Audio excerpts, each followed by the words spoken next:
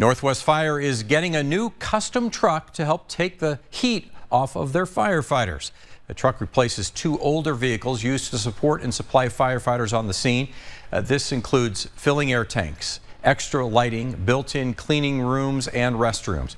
Captain Richie Folt with Northwest Fire says it's his district's first vehicle of this type.